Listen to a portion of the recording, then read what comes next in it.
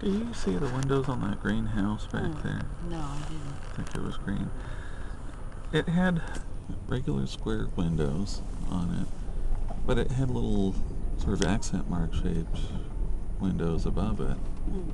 The it they sort of look like eyebrows. Weird.